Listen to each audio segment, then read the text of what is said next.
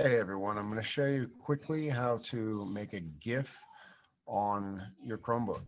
So this is the desktop background of a Chromebook. You go here to the launcher in the lower left hand side. Go to camera. Just type in camera if you don't see it. And then when your camera feature opens, you see the features go to video and once you're in video, it'll say normal and then GIF. Click to GIF, and that's me recording this video. Now you click record, do whatever you want.